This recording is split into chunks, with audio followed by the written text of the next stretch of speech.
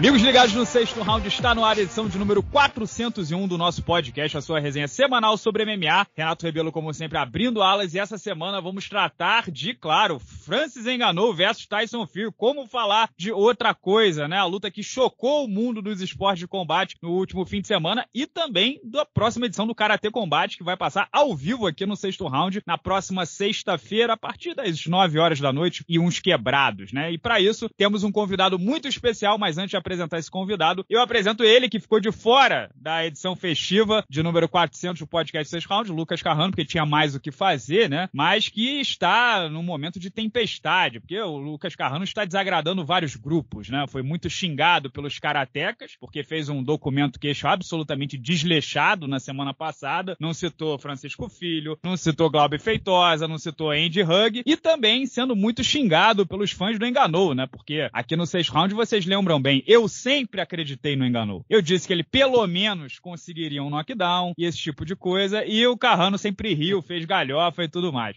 Carrano, boa tarde, por favor, não me desminta. Fala, Renato, amigos do Sexto Round. Um abraço pro nosso convidado que em breve também será apresentado. E, cara, eu tô ainda tentando me recuperar, né, emocional e financeiramente do prejuízo que o senhor me deu na semana passada. Eu, eu ouvi, mas eu tô com a impressão de que você pode ter tirado essa parte do meu discurso, porque as pessoas têm que saber a verdade. Você me disse, a, a, o comentário que eu recebi foi, falou assim, Carrano, que bom que você tenha coisa para fazer, porque vai mesmo pra Mônaco, porque eu vou dar uma festa lá no, no Fairmont, no cassino lá de Monte Carlo e tal, para comemorar. 400 edições de podcast não é todo dia que acontece. E, cara, eu gastei, assim, tudo que eu tinha. É bom esse podcast começar a enriquecer a gente rápido, porque eu tô assim, no... que os agiotas estão na minha cola é brincadeira, só acho que o parei é longe, cara. E tô devendo ah, bastante. As que... minhas camisas são todas da Insider porque eu ganho. É, o meu tênis é furado. Você acha que eu vou dar festa em cassino de Mônaco? Não sei de onde você tirou, eu sou o cara mais pão duro que eu conheço. eu tenho certeza que foi isso, assim, eu não tô enganado. E eu acabei indo sozinho pra essa festa, cheguei lá, fiquei com cara de tacho, mas e fiquei de ah, fora não, não se esquive. E as acusações? E, e esqueceu o Francisco e, Filho? Cara, e o Francis enganou, por favor. eu, até, o Francis enganou, pô.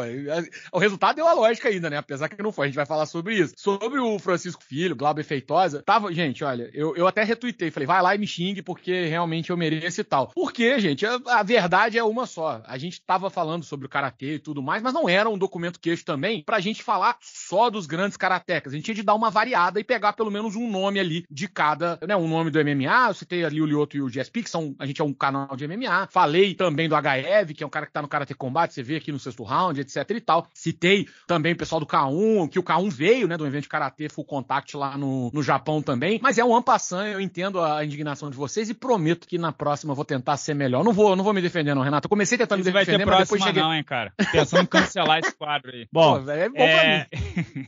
e temos aqui o nosso convidado, Luiz Rocha, que é o campeão peso leve do Karatê Combate, ex-membro da seleção brasileira de Karatê, um dos melhores karatecas que já produzimos, que está embarcando hoje para a República Dominicana, que vai enfrentar seu grande rival, né, o Edgar Scrivers, da Letônia. É a terceira luta entre eles, o Scrivers venceu a primeira, aliás, foi a única derrota do, do Luiz desde 2018. Depois, é, o Luiz nocauteou o cara de volta e agora vai conceder a revanche. Como é que tá a vibe, Luiz? Como é que tá? Tá, tá bem treinado? Tá machucado? Tá indo bem para defender esse cinturão? Fala, galera. Primeiramente, muito bom estar aqui, satisfação, acompanhar o programa de vocês. Um abraço pro público aí, galera do sexto round. E, porra, melhor impossível, me sentindo muito bem. Quero essa luta já há muito tempo. Tanto queria muito a revanche desde a primeira vez que ele me venceu. Venci. Quando, quando eu venci ele na segunda, na segunda luta, eu já comentei com meus treinadores: ó, vai ter a trilogia, tenho certeza. E a gente vai trabalhar para isso. Então, é uma luta que eu já estava esperando, já estava querendo. Demorou aí pouco mais de um ano de quando eu venci para a trilogia. Estou preparado, muito bem treinado e com muita vontade. Ô, Luiz, é, se, se a gente fechar o olho e te escutar falando, soa bem familiar, né? É, é a proximidade com, com os irmãos Patrício e Patrick, né? Você treina na Pitbull Brothers, ou é coincidência mesmo? Brother, você falar isso que fechando o olho tá familiar, nem me ofende, não. Foda é quem vem falar que parece fisicamente. Aí eu fico irritado, velho. Patrícia é feio, eu não sou.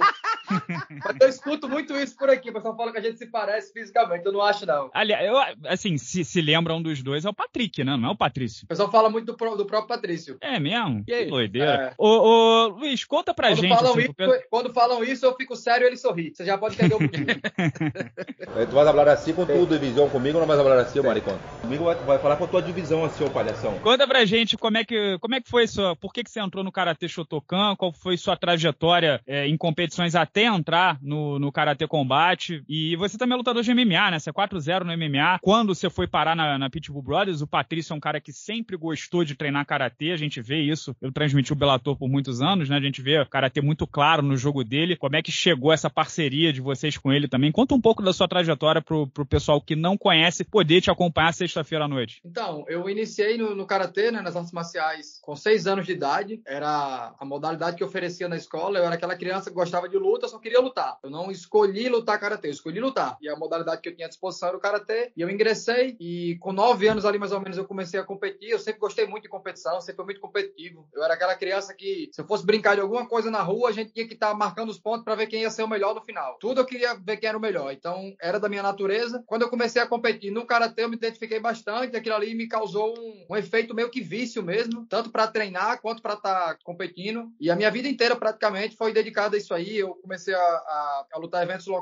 Com 10, 11 anos, já comecei a lutar eventos nacionais. Com 13, 14, já entrei na seleção brasileira e lutava eventos internacionais. Então, fui seguindo minha trajetória nisso aí. E cheguei a me profissionalizar, né? Profissionalizar entre aspas, no karatê esportivo, né? No karatê olímpico, mesmo sendo um, esporte amador. Mas eu recebia ali Bolsa Atleta, recebia. Eu era contratado para lutar jogos de São Paulo e Santa Catarina, que eles pagavam também. Então, assim, eu tinha uma renda, né? Com o esporte, mas era aquela renda que dava para eu viver, mas não dava para construir patrimônio. Eu pensava, pô, quando eu parar de lutar, eu preciso de alguma coisa, né? Então, me veio a ideia de começar a lutar profissionalmente. O MMA foi a primeira opção. E quando eu estava amadurecendo essa ideia, o universo conspirou a meu favor. O Patrício começou a enxergar no jogo dele, após a luta dele, acho que com o Pet se eu não me engano, que ele tinha sido muito tocado por jab, que os caras eram mais altos que ele, que ele estava querendo ter um domínio de distância melhor. E ele via no karatê essa oportunidade de trabalhar melhor essa distância, de entrar e sair e ser menos golpeado, né? Mesmo vencendo lutas, ele percebia que ele vencia, mas saía muito atingido, muito golpeado. E isso a longo prazo poderia prejudicar ele. E a gente tinha os amigos em comum aqui, a gente se conhecia, mas não tinha amizade, tinha os amigos em comum e ele comentou que queria treinar karatê e todo mundo comentou, pô, tem um moleque aqui de Natal que é, que é referência e tal. Ele falou quem é? Os caras, Luiz Vitor. Ele, ah, eu sei quem é e me convidou para ir na Pitbull Brothers. Isso foi em 2013, fez 10 anos esse ano. E aí eu fui, a gente Cara, e revol... assim, desculpa te interromper, mas revolucionou o jogo dele, né? A noção de tempo e distância, de, de ser menos atingido por ser sempre o lutador menor. Cara, é, é impressionante como, como afetou o jogo do Patrício. Sim, você vê, o, o Patrício e o, e o próprio Volkanovski são caras muito fora da curva, tecnicamente, taticamente, justamente por conseguirem driblar isso, né? São caras muito, caras muito abaixo da estatura da categoria. O Patrício, ele tem, tem cara da 5'7 que é mais alto que ele. É, é, é, normal você encontrar esse tipo de lutador, ele é muito baixo. Então ele precisava de fato disso aí. Teve um QI de luta altíssimo de ter enxergado isso, né? E aí não, Carrano, falou, não, vou começar não vou começar a treinar karatê, não, é. Carrano. Não, não preciso, não, não vem com eu ia, Não, aqui, eu ia falar o seguinte: karatê ajuda na distância, não ajuda a crescer, não, Renato. Você tem que. O seu problema é outro, você tem que tomar GH. Sobre o que o Luiz falou, é interessante só também de ter tido essa noção é, enquanto ganhava, né? É muito difícil ter, ter é, esse senso crítico, essa autocrítica, quando os resultados estão vindo ainda, né? Exatamente. E assim, ele pensou num problema que não tinha chegado ainda. Ele pensou, pô, eu tô ganhando, mas tô sendo muito atingido. A longo prazo, isso pode encurtar a minha carreira. Ele não tinha nenhum dano cerebral, ele não tinha nada que, naquele momento, obrigasse ele. Ele enxergou literalmente na frente, né? E se precaveu para isso. Tanto que ele é um cara que tá com aí, aí com 36 anos, eu acho, e parte cerebral dele intacta, tem queixo ainda, tranquilamente. Talvez justamente por esse processo, né? De 2015, 16 para cá, ele começou a trabalhar muito essa, essa área de luta, de domínio de distância, e passou a ser bem menos tocado. É, independente de ganhar ou perder as lutas, você vê que ele volta bem menos danificado para casa. E, o, e, e, aí, você já treinava ele? Como é que apareceu o, o Karate Combate? Então, daí eu comecei a treinar na Pitbull Bros. em 2013. Eu você lutou no, MMA, no MMA antes ou no Karate Combate antes? Não, não, primeiro no MMA. E aí eu comecei a treinar só o kickboxer, na verdade, que era na segunda e quarta. O kickboxer é voltado para MMA, mas era só na segunda e quarta. Eu só ia esses dois dias da semana. E aí fui pegando gosto. Em 2015, eu resolvi lutar MMA profissionalmente. E o Patrício foi olhar um cara que falou: velho, você já tem 25 anos, vai fazer 26. Não dá tempo da gente trabalhar você. Tipo, colocar você em campeonato de kickbox, campeonato de jiu-jitsu, é, MMA amador. Não dá tempo. Você tem um nome feito, vamos aproveitar isso, vamos te colocar direto no MMA profissional. Profissional. Falei, beleza, vamos por tudo ou nada, né? Não tenho tempo pra, fazer esse, esse longo prazo. E aí eu estreiei no MMA profissional 2015, já estreiei nocauteando, fiz quatro lutas no Brasil e minha quinta luta já foi no Bellator, é, pelo fato de já ter um certo, um certo reconhecimento nacional e internacional com karatê esportivo. Isso ajudou bastante, né, me vender. É, se você for parar para olhar em média, os lutadores brasileiros demoram bem mais do que quatro lutas para estarem num evento internacional. E eu fiz minha quinta luta de MMA no Bellator, 2017, novembro de 2017, Bellator Israel, e inclusive a oportunidade maravilhosa de conhecer Israel. E quando foi janeiro de 2018, tipo, dois meses depois, eu recebi a ligação do Karate Combat. O Karate Combat estava surgindo. E eu tinha acabado de voltar, estava de férias, mas já tinha aquela noção do, do, do, do strike, né, do full contact, por estar treinando MMA, e já dominava o Karate. Então, a ligação veio em janeiro, pelo lutar em fevereiro, eu já aceitei, e aí já fui o primeiro brasileiro a ser contratado pelo Karate Combat. Na minha primeira luta, eu rompi os ligamentos do joelho, então eu tive aí em seguida uma cirurgia de joelho, passei seis meses sem lutar e retornei em agosto de 2018. E aí foi quando eu voltei de fato e não parei mais com o Karate Combat. Então, assim, desde o princípio do Karate Combat que eu tô presente, a primeira disputa de cinturão da história da organização foi a minha disputa de cinturão, foi a que eu perdi, a primeira luta por Scrivers. Aconteceu em setembro de 2019. E aí, depois disso aí, eu vim, fiz mais quatro ou cinco vitórias seguidas, eu acho, e retornei para revanche com ele em 2022. Foi quando eu ganhei e adquiri o cinturão, me tornando o primeiro e até então o único brasileiro campeão do Karate Combat. Você nocauteou ele e já defendeu o cinturão mais duas vezes depois, né? E a última foi contra outro brasileiro, Bruno Souza. É isso ou eu tô errado? Na verdade, eu defendi meu cinturão só uma vez contra o Bruno Souza, porque quando eu nocauteei o Scrivers em 2022, os caras demoraram a me dar a revanche. Eu demoraram muito, então eu meio que limpei a categoria antes de ir pra revanche. Então eu não tinha luta nem prevista. Ah, essa lutou de cima, né? Isso, e aí eu já pensando nisso, eu falei, velho, eu não vou ficar esperando pra ter luta. Quando eu nocauteei o Scrivers, o plano já tava na cabeça. Usei o pouco inglês que eu tinha para já desafiar o campeão da categoria de cima, que na época era o Josh Pairega, um americano. Em 2022 mesmo, uns meses depois, eu fiz a luta com a super luta, né? O campeão do peso leve, que era eu, contra o campeão do peso médio, que era o Josh. Fizemos a luta em peso combinado. Eu queria que valesse o cinturão dele, mas não quiseram colocar o cinturão em jogo. Seria bom se tivesse valido o cinturão, porque você agora seria o primeiro duplo campeão da história do Karate Combat. Pois é, mas eu vou falar que é segredo em off ainda, mas em off os americanos, os brasileiros, brasileiros podem saber. Eu pretendo nocautear o Scrivas novamente agora e desafiar novamente o campeão da 75, que agora é o Rafael Gaev. Era um cara que era meu ídolo no Karate esportivo. Lutador, hein? É, e eu quero lutar com ele valendo o cinturão. E o HF eu sei que ele não consegue fazer peso combinado. Ele bate 7,5 ali já no limite. Já, já morrendo, ele chega no 7,5. Então, não tem como ele fazer peso combinado. Então, acredito que se ele aceitar a luta, se o, evento aceitar, vai ser valendo o cinturão dele sim. Não quero pensar nisso agora, quero me concentrar no Scrivers, mas o meu plano é esse. Último pitaco aqui. O apelido do Luiz Rocha é extremamente criativo, né? O Pitbull. Pô, Luiz, não dá. Mais um. Pô, Já era ou adquiriu depois que entrou pra academia? Não, na verdade foi uma criação do Karate Combat, né? Ah, tá. Na academia meu apelido era o Príncipe, porque eu sou o único bonito daquela academia. Só tem capa feio lá, eu sou o único bonito.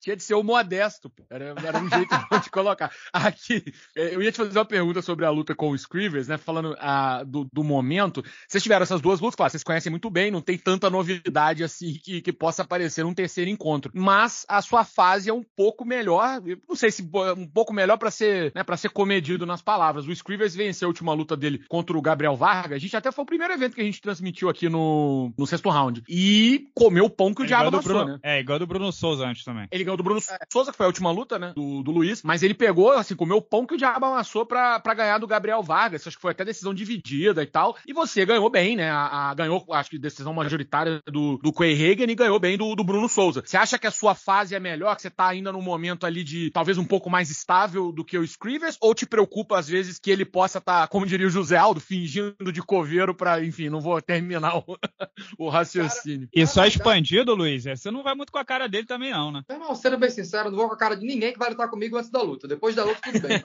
luta, como o Scrivers é um cara que desde que ele me ganhou, ficou engasgado, quando eu ganhei depois, eu sabia que teria terceira luta, então eu não gosto dele desde 2019, que eu não vou com a cara dele, tô...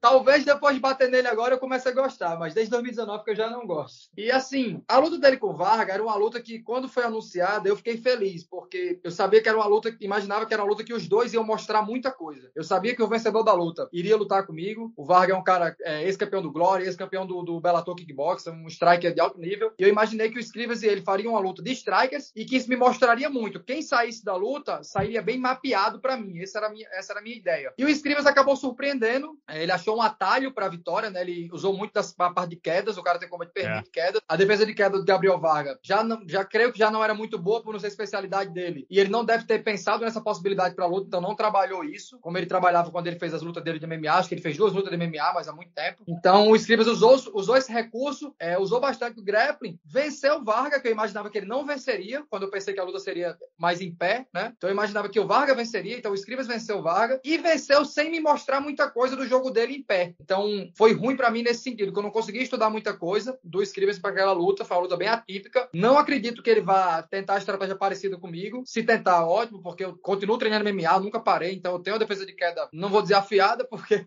não faz tempo que eu não coloco a prova, mas é, é trabalhada, eu treino defesa de queda. Diferente do Vargas, eu acredito que não treinou para aquela luta esse fundamento. Então seria mais tranquilo, mas não acho que ele vai usar, acho que a minha luta com ele vai ser totalmente em pé, como foram as outras duas. E eu não tenho muito o que estudar dele, né? Porque ele lutou com o Vargas e com o Bruno, a característica do Bruno é muito diferente da minha, e a característica do Vargas é um pouco mais parecida, porém ele foi lá e usou, usou o grappling, né? Então eu realmente não tenho muito material de estudo do Escrivas para essa luta, além do que eu já tinha quando a gente lutou em 2022. Então eu acredito que ele venha com, com um jogo não muito diferente do que ele veio em 2022, mas com certeza ele vem com algumas armadilhas aí dentro daquilo que eu peguei ele naquela luta. Então tem que estar preparado para isso. A luta principal é a vocês, né? E a luta principal é Stephanie Oliveira contra Cristina Cavacopoulo, né? Valendo o cinturão peso palha feminino. E a Stephanie também é sua companheira de treino lá na Pitbull. Aliás, Pitbull Brothers, né? Que potência que tá virando, né? Bellator é todo é. mundo da Pitbull Brothers, Karate Combate também. O que, que você diz pra gente sobre a Stephanie? Como é que ela tá pra essa luta? É, a Pitbull Brothers acabou se tornando um, um centro de treinamento pro pessoal do Karate Combat, de fato, né? A Erika de São Paulo veio pra cá treinar, a Stephanie é de Ceará veio pra cá pra treinar, eu já tava. Fora o pessoal lá que a gente tá tentando colocar no evento, eu acredito que daqui para o próximo ano vai ter mais uns dois ou três pitbulls no Karate Combat. E esse cinturão vindo para Stephanie, vindo para casa, vai ajudar bastante a gente nisso aí, né? Aumenta a moral da academia, do país, com o evento. É, a Stephanie é uma de muita vontade, ela é muito confiante, tem muita vontade, tem a mão muito dura. Eu acho que tecnicamente, assim, de habilidade, aquela coisa plástica, a Cristina é superior, mas a Stephanie tem mais pegada, tem mais vontade, tem mais queixo. Acredito eu que tenha mais gás também, a luta de cinco rounds. Acredito que no início da luta, talvez a Cristina tenha, leve um pouco de vantagem, mas no decorrer da luta, a Stephanie vai conseguir encurtar, vai conseguir colocar a mão, e quando ela colocar a mão, eu tenho certeza que a Cristina vai arregalar o olho, respirar fundo e pensar, nunca tomei uma mão dessa, porque a Stephanie bate muito duro. Maravilha. É, então, assim, por tudo que vocês escutaram aqui, essa promo e fala muito bem também, né? Aliás, Pitbull Brothers, além ah, de, de, bons treinamentos, eles têm media training, né? Deve ter, eles treinam... Pô, eu, eu, ia falar isso agora. Entrevista, né? Treinam sociologia, filosofia, desenvolvimento pessoal, pelo visto tem é, a jornada tripla, né? Tem que treinar strike, grappling e também treinar ali esse, essa parte do, do media training. Rapaz, eu e o Patrício, eu e o Patrício brigando com o outro. A gente discute todos os dias. Qualquer tema que eu tiver de um lado, ele tá do outro e vice-versa. A gente discute todos os dias. E é uma hora de discussão por tema. Então a gente treina oratória, é. debate diários. Mas é, é, impressionante, né? Não, não, é só o tom de voz que é parecido, mas é, parece, assim, né? Eu tô te conhecendo agora, mas o, o temperamento, a personalidade, né? A pessoa competitiva que se expressa bem, lembra muito, cara. É impressionante a simbiose, né? E, e, vocês treinam juntos só há alguns anos, né? Mas acaba pegando, não tem jeito. São 10 anos já, né? 10 anos, pois é, não tem jeito. Karate Combate 42, ao vivo no sexto round. O card preliminar começa, se eu não me engano, 8 horas e o principal que a gente vai transmitir às 9. Mas eu vou confirmando os horários certinho, se tiver alguns quebrados durante a semana. Mas vocês vão ver essa fera aí, Luiz Rocha, o Pitbull, né? Apelido inovador aí. O príncipe humilde, pô. O príncipe humilde. o príncipe contra o Edgar Scrivers, é, sexta-feira. É, não, não conflitou com o UFC São Paulo, que vai ser no sábado. Então esteja aqui no sexto round à noite para ver o Luiz lutar. Mas, Luiz, agora a gente tem que tratar também sobre Francis Engano e Tyson Fury, que aconteceu no último sábado. Em primeiro lugar, eu já falei bastante aqui no canal, mas a impressão de vocês, vocês ficaram em choque também? Número um. E número dois, o que vocês acharam do resultado? Vocês acharam que o Francis foi garfado ou faz sentido o Fury ter vencido? Primeiro, claro, o nosso convidado convidado, porque não aguento mais o Carrano falando também. Cara, para mim foram duas surpresas. Eu achei o Tyson Fury abaixo do que do, do normal dele e achei o Francis Ngannou bem acima do que eu esperava dele para uma luta de boxe de 10 rounds. Eu acho que o Tyson Fury ali talvez tenha começado num ritmo mais baixo, esperando que o Francis Ngannou cansasse. É o que todo boxeador que vai lutar com o cara do MMA sempre vai esperar, que o cara do MMA canse ali no, nos últimos rounds. Talvez a exemplo do que o Mayweather fez com o McGregor. É, o Francis Ngannou é, surpreendeu bastante, tanto na parte técnica quanto na, nessa questão do, da durabilidade do gás. A potência física dele absurda, mas isso não é surpresa, a gente sabia, a gente imaginava. O próprio Mike Tyson deu entrevistas falando sobre isso. Algumas pessoas não levaram a sério, acharam que era, que era promoção, porque estava treinando o cara e tal, mas eu acredito que não. Acho que ele falou realmente por ser de fato. Você vê que, o, que o caras como Francis Ngannou, como Poitin, você vê que esses caras são naturalmente uma coisa fora da curva. Os caras têm uma, uma, uma capacidade física de produzir potência absurda. E eu esperava isso aí, mas não acho que o resultado da luta foi injusto. Acho que, de fato, se, se espera, acho que por ter uma expectativa onde que o, o Tyson Fury fosse sobrar, o pessoal ficou com essa, essa, impressão que foi garfado, porque de fato ele não sobrou. Mas eu, pontuando round a round é aquela coisa. Eu não preciso te humilhar no round. Se eu dou um jab a mais que você, eu tô ganhando aquele round, né? Então, pontuando round a round, eu acho que, eu, que a luta foi, foi pontuada corretamente. Mesmo que não fosse, acho muito difícil que o corporativismo do boxe desse a vitória pro Enganu. Então, assim, se de fato eu achasse que o Enganu venceu, de fato o resultado não mudaria, acredito eu. Mas pelo que eu assisti da luta, a luta foi mais morna do que eu esperava. Esperava um pouco mais de ação. São dois pesos pesados. Um knockdown é, numa luta eu achei pouco. Achei que dava, achei que dava para ter uma intensidade maior. Esperava mais isso. Esperava mais do Fury. Esperava menos do Enganu. Mas eu acredito que o resultado foi correto. Causou espanto justamente porque todo mundo esperava um baile do Tyson Fury e não foi nada nem parecido com isso. Olha, Carrano, é, dê a sua opinião, mas fala bem o cara, hein? Eu fui até procurar é, corporativismo pô. aqui no Google. Tô pensando em te demitir do,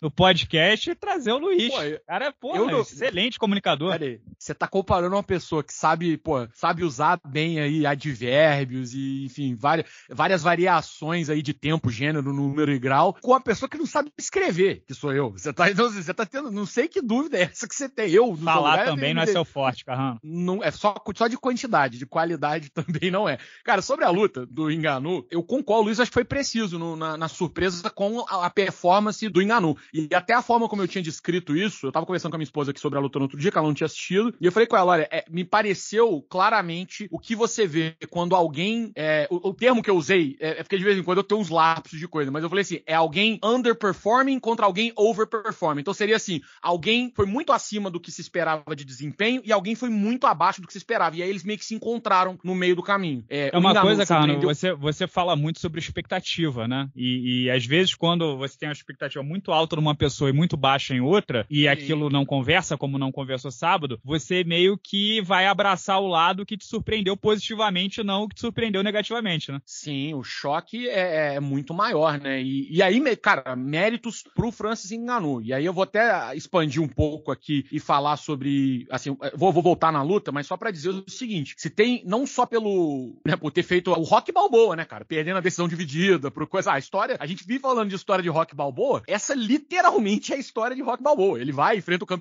numa primeira grande luta e tal, e aí perde na decisão dividida, fazendo uma luta belíssima. E o enganou assim, cara, peitou, é, bateu, e, e, gente, isso não vai funcionar para todo mundo, tá? Mas ah, é, não, é, ao mesmo Ah, não, é. oba, oba agora, né? Faz o Sean O'Malley contra o Dave Haney, vai ganhar, é. não é, né? Um meteoro isso não vai funcionar para todo mundo. Mas, da mesma forma como várias pessoas tentam, às vezes fazem coisa ousada, pô, a gente tá falando de uma organização de sete, né, que hoje é avaliada em 9 bilhões de dólares. E o cara ir lá e, e com poucos recursos e pouca margem de negociação que ele tem, tentar peitar e, e sair com um resultado tão positivo como foi, é, financeiramente, até esportivamente, popularidade, cara, é, é, é, absurdo. A gente tem que dar os parabéns, porque se tivesse quebrado a cara, como muita gente quebra, é, a gente apontaria e faria, né, chacota e tal, brincaria e tarará. Então vamos ser justos também e dizer que, pô, bicho, o cara bancou e foi lá e, entendeu? Botou pau na mesa. Apareceu, é, fez uma. Você já da... viu, né? Já não, viu quando, na, não, não. pesagem, não? Então, vamos tirar essa história. E assim,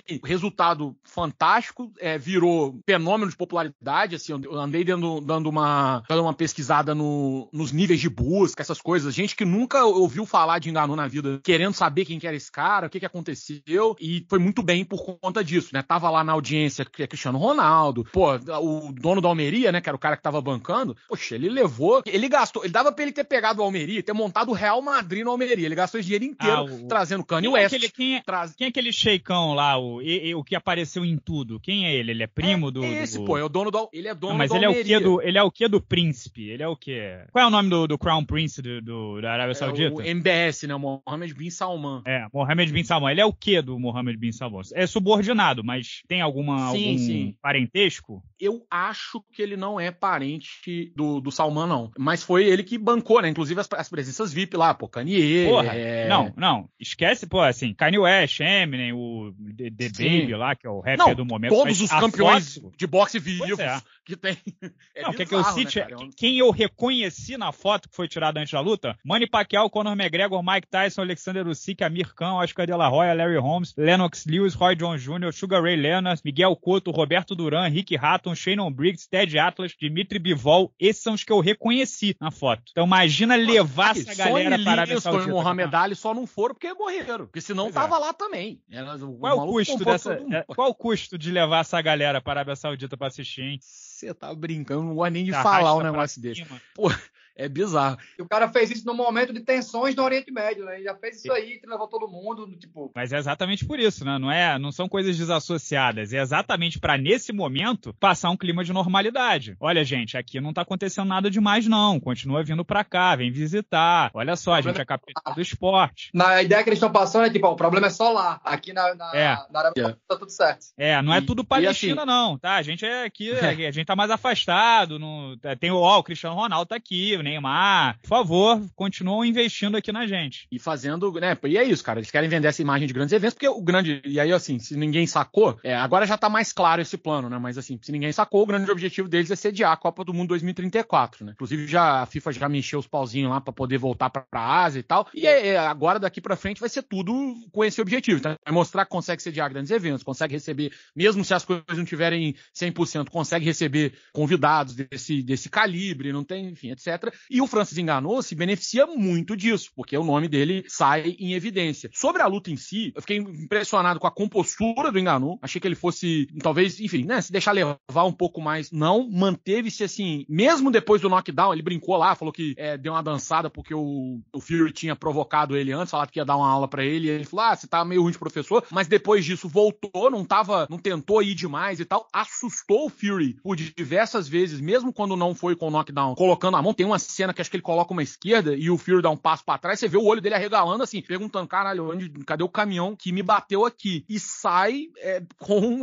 assim, acabou com Tyson Fury e Usyk, não vai ter mais em dezembro. É, as consequências disso tudo que ele realizou foram grandiosas, não só para isso, o pessoal do boxe está declarando, né, que o, o, último cavaleiro do apocalipse, que agora o boxe sai HBO, sai Showtime e acontece um negócio desse, ficou um clima meio fúnebre assim. E para finalizar sobre o resultado, eu acho Ah, justo, graças a Deus, Carrão. É, eu acho justo a vitória do, do, Tyson Fury pelo sistema, né, de ten must, down round a round, etc e tal. Mas eu acho que daria para pontuar um empate também. É, eu entendo que muito provavelmente eles não iam fazer isso, mas é, eu acho que caberia um empate. Vitória do Enganou mesmo com o knockdown, acho que não rolaria não. É, e teve até a cotovelada, né, que, que podia ter tirado Porra. um ponto ali do, do Fury. Porra. Verdade. Se tivesse tirado um ponto, ele teria perdido, com certeza. Teria perdido. É. Não, teria empatado, né? Teria acho empatado. que o que teria empatado. Ah, verdade, acho teria, empatado. Um, teria um pro Fury, um pro Engano é, e um empate. Seriam empatados. Isso, é. isso, split draw. É. Luiz, agora, o, o, Engano, ele virou, ele foi de patinho feio para o garoto mais popular do recreio, né? Como o Carrano bem disse as consequências aqui, todo mundo quer vê-lo, né? Eu tava, eu assisti até depois o, o post-fight, né, na, na ESPN americana, e o pessoal tava,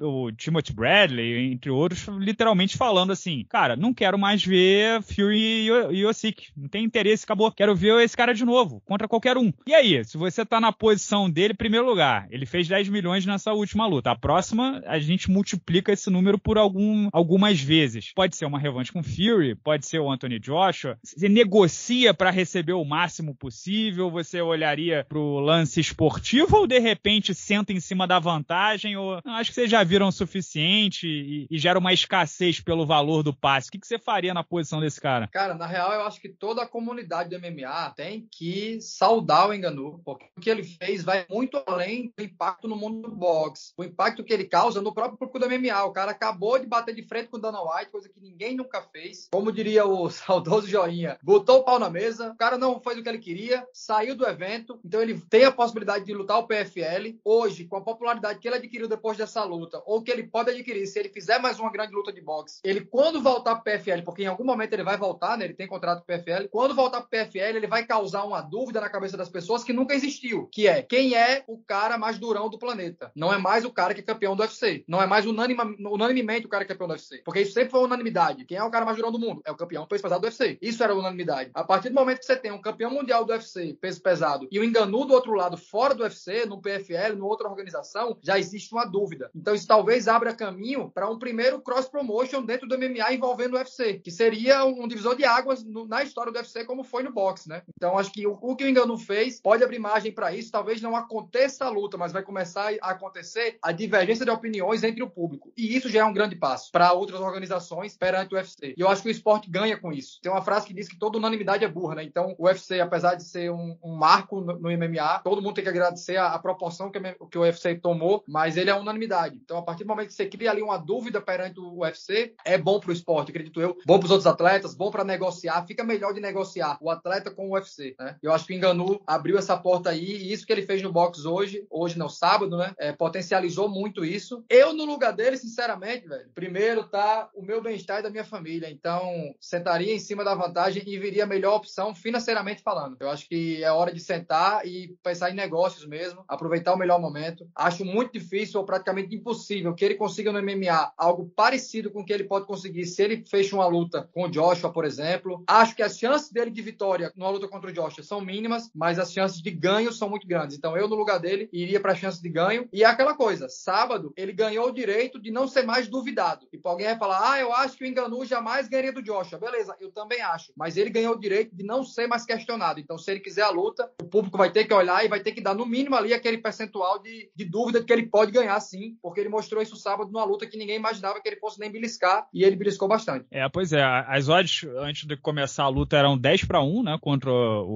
o Fury. Isso de, de qualquer vitória, né, do, do Enganu. E decisão era 60 para 1, né, olha só. E agora as odds que abriram para uma eventual revanche são 3, 4 para 1. Isso mostra de que quem tá botando dinheiro já vê a coisa um pouco diferente. E o efeito borboleta disso, como vocês citaram, é muito grande, né? Ainda que não seja pro bico de qualquer um, não vai ser qualquer campeão do MMA, striker, a gente precisa considerar o efeito peso pesado, que, vamos dizer assim, nivela por baixo um pouco a parte técnica, né? Você não vai pegar um lutador de MMA com 70 quilos e vencer o campeão de boxe 70 quilos, ou, ou entregar uma luta tão difícil quanto, né? É, não vai acontecer. já viu isso pessoal. acontecer, inclusive, né? O McGregor é, Não, mas ainda assim, ainda assim, você tem que considerar que o McGregor era quase 10 anos mais jovem, era maior do que o Floyd, o Floyd já estava aposentado, e o Floyd nos últimos dois, três anos só tinha feito lutas na medida. Então, assim, não era o melhor Floyd, não era o Floyd no topo da, de linha, não é o Floyd que venceu o Canelo, nada disso. E era o McGregor muito mais jovem e muito maior. A gente viu que o Floyd levou na maciota e nocauteou. Agora, no Engano e, e Tyson Fury, a gente tem que levar em conta o fator peso pesado, que é um cara de 123 quilos e, sei lá, 7%,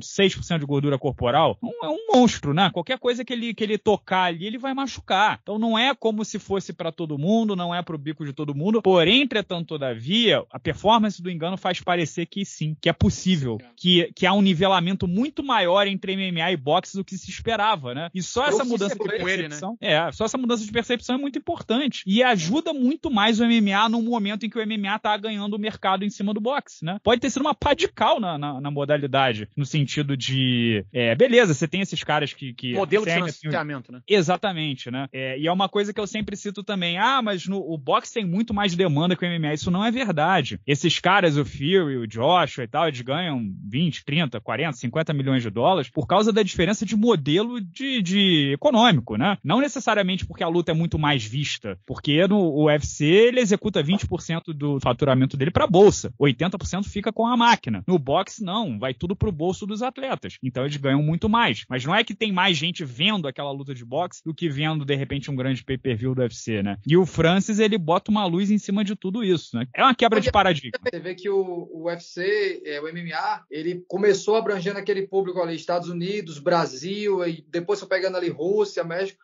O boxe, ele já vem da parte ali do hemisfério norte, né? Dos países ali do, do, do Reino Unido, países onde a galera tem um poder aquisitivo maior, a, a, questão de aposta funciona muito. Você falou a questão do peso pesado. Eu acho que isso influencia muito nas apostas. O peso pesado, por mais favorito que seja, qualquer overhand é zebra. Qualquer mão que entra muda a história. Por mais favorito que um seja sobre o outro, o poder de fogo de um peso pesado pode mudar a luta com um golpe. Eu acho que isso faz as apostas se movimentarem muito. E nos pesos mais leves a chance é menor, né? Tipo assim, o Conor deu um susto no, no Mayweather, velho. Ele não ia nocautear o Mayweather no susto. Não era, teria que ser uma sequência de superioridade do Conor para ele chegar ao nocaute. Diferente do peso pesado, com uma ou duas mãos ali, você pode mudar a história. E para quem aposta, isso faz toda a diferença, né? Tá 10 para 1, porra. 10 para 1 no peso leve, eu não aposto meu dinheiro não, mas 10 para 1 no peso pesado, vale a pena arriscar milzinho nesse 10 para 1 aí para tirar 10 mil. É, e você viu, Luiz, que o, que o Francis trocou muito de base, né? Ele jogou na base de canhoto, jogou na base de destro. Ele tava preparado ali. Num, é, foi um campo de quatro meses, mas é, ele ficou parado do, quase dois anos, né? Então foi dois anos de uma construção lenta contra um cara que de repente não estava vendo ele como uma grande ameaça, é, de repente entrou um pouco mais frio, subestimou um pouco. E você vê isso, já é o suficiente para ser parelho. É, eu acho que uma revanche dos dois, pessoal, você falou aí que as bolsas de apostas, as odds, é, melhoraram a favor do Enganu, mas ao meu ver, ao meu ver, seria a próxima, se chegarem a lutar novamente, eu acho que o Tyson Fury vence com uma margem maior do que essa primeira. Eu acredito que é, é a probabilidade disso acontecer é maior, é, justamente por como eles vão encarar a luta. Eu acho que o Fury, eu achei o desempenho dele muito abaixo, não sei se pelo tempo que, tava, que ele estava sem lutar, né? ele teve, teve duas aposentadorias já e voltou, então eu não sei realmente é, o que aconteceu com ele, mas eu achei que ele tem, deu uma subestimada e eu acho que na próxima luta ele encarando com uma mentalidade diferente, eu acho que a tendência é que ele vença até com a margem maior. Esse é o meu palpite, mas a gente nem sabe se a luta vai acontecer. E se errar também, eu tô no crédito, porque eu tô sabendo que é normal o pessoal do sexto round errar, então tá tranquilo.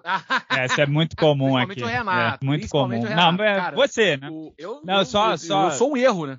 Só, só, te, só passando a bola para você, Carrano. Eu concordo com o Luiz, cara. Vendo o copo assim, né? Sendo um pouco trombeteiro do apocalipse, talvez o enganou foi mais longe que ele poderia, cara. É óbvio que ele não vai pensar assim. Ele vai, agora ele vai achar que sim, eu posso, né? Eu posso ser campeão do WBC, eu posso vestir um cinturão peso pesado do boxe, né? O cara, obviamente que ele tá com a confiança lá na lua. Mas agora ele vai ser estudado. Agora ele vai ser visto. Agora ele vai ser levado a sério. A chance dele vencer um desses caras, o Deonta Wilder, o Joshua, o, até o Andy Ruiz e tal, é muito pequena. Sendo, estando os holofotes em cima dele, né? Isso não vai acontecer nunca. Mas não seria uma do, do engano pensar assim, Carrano, você que gosta de um roteiro de filme e falar assim, parei. Sabe o que mais?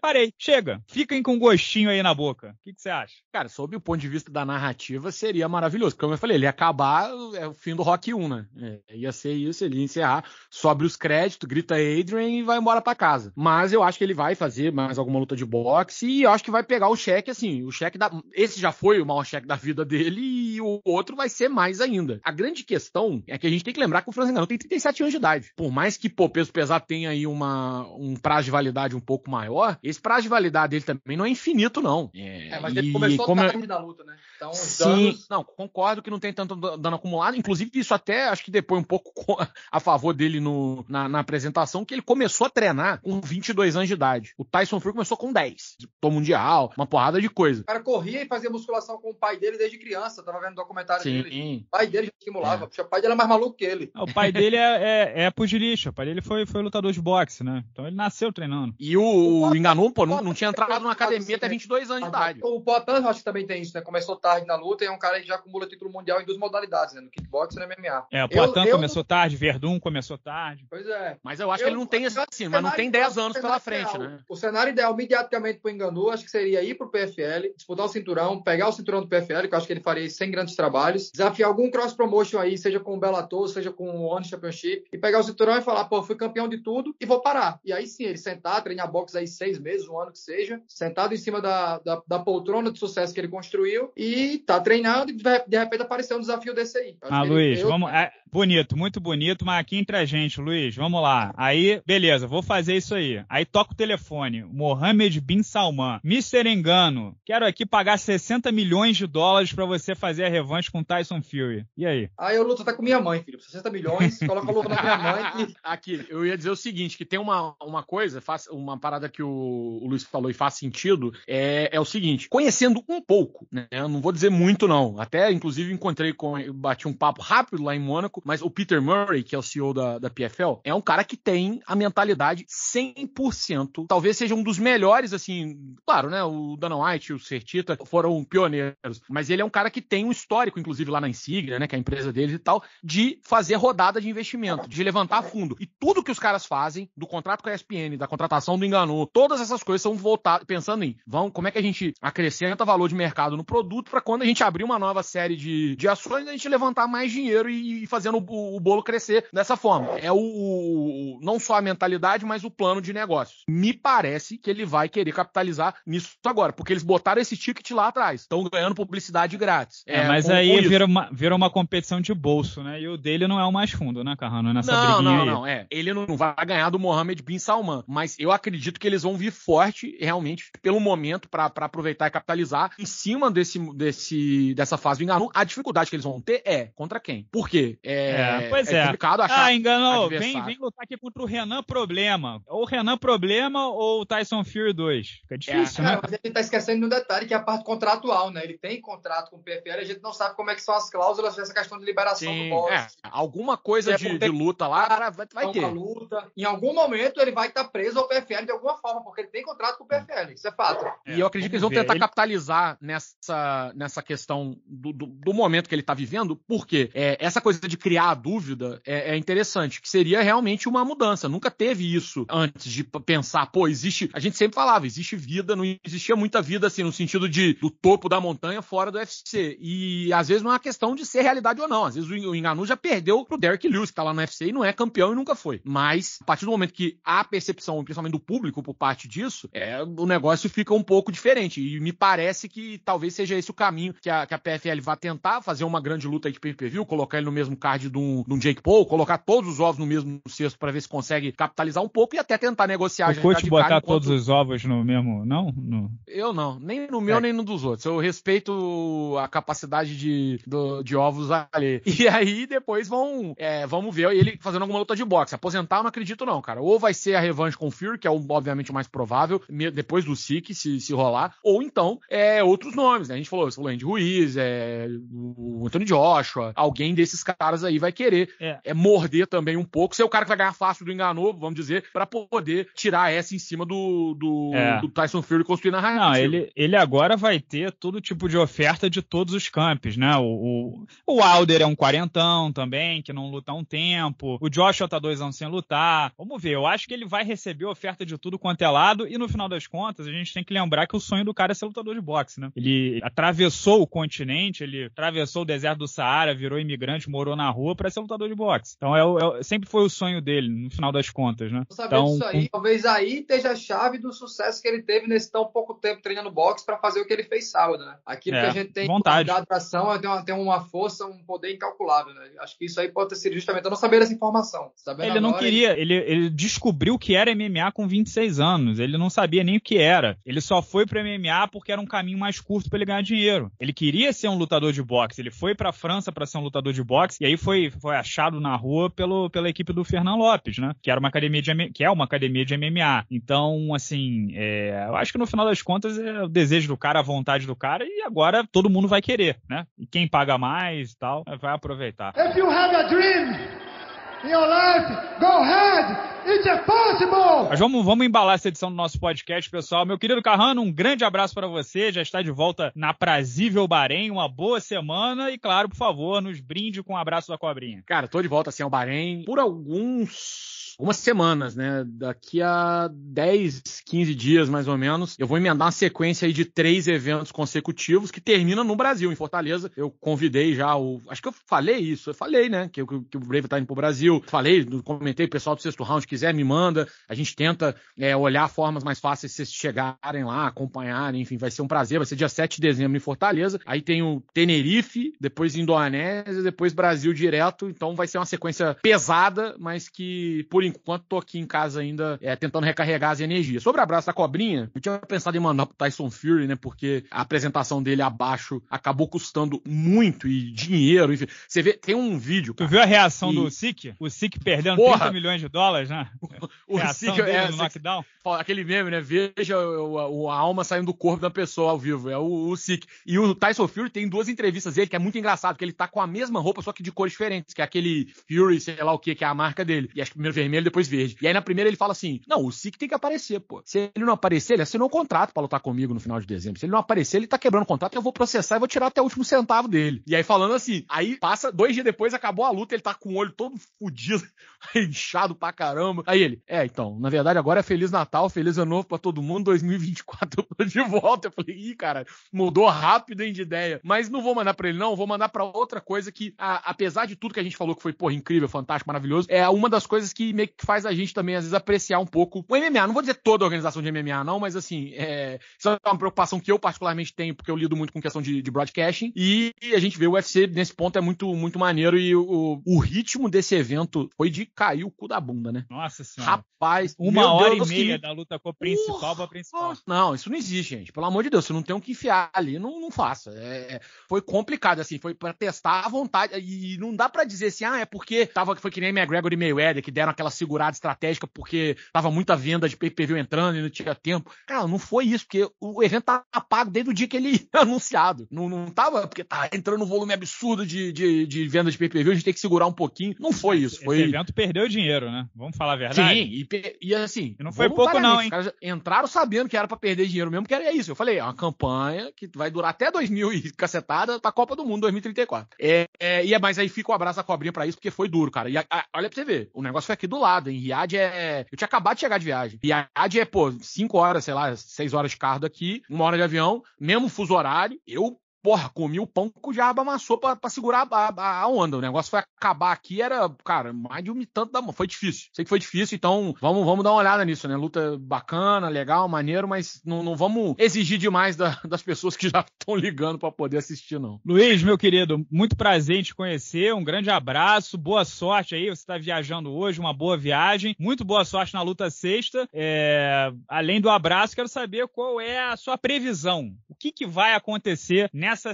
terceira luta com Edgar Scrivers. Se você acha que vai manter esse cinturão e como? Cara, primeiramente aí, eu que agradeço. Muito bom estar aqui com vocês. E minha previsão é maravilhosa. Fiz um camp muito bom. É, tô indo sem lesão, isso é raro. E a minha previsão é o nocaute. Eu luto para nocautear. O Scrivers é um cara que não evita a luta, ele vem pra luta. Então, eu treinei pensando nisso. Acredito no, no meu nocaute. Acredito ali que entre o terceiro ou quarto round, seja onde vai estar acontecendo. Não vou me afobar no início, porque ele tem uma característica de durabilidade maior, né? E já eu tenho um histórico de cansar, embora eu trabalhe para melhorar isso cada vez mais. Então eu vou iniciar mais cauteloso, mas a minha intenção é acelerar para buscar o nocaute mesmo. E essa é a minha expectativa. Nocaute, rocha and steel. Olha, eu acho que eu nunca, só fiquei é, atônito aqui. Eu nunca escutei um lutador falando, eu tenho histórico de cansar. É um, é um autoconhecimento e uma franqueza raríssima nesse meio. Eu nunca tinha escutado, por exemplo. Né? Biologia, velho. Tem gente que tem mais aquele lance lá de células brancas, células vermelhas. Eu sou mais da potência e tenho pouca resistência. Mas a gente vai trabalhando isso aí, consertando fundamento de respiração, de próprio, é, aprendendo sobre o próprio ritmo de luta, a hora de colocar força. Mas biologicamente a minha característica ela é bem mais de potência do que de resistência, e a gente tem que aceitar e reconhecer isso, né? Lógico que a gente tem que trabalhar é. para melhorar onde não é bom, mas a gente tem para saber o que melhorar onde não é bom, você tem que primeiramente saber o que você não é bom, então tem que ter o autoconhecimento. É, maravilha, é fantástico. Só um, dar uma partezinha rápida aqui, se eu puder, é, o pessoal que tá ouvindo esse podcast vai assistir o evento sexual na sexta e tal.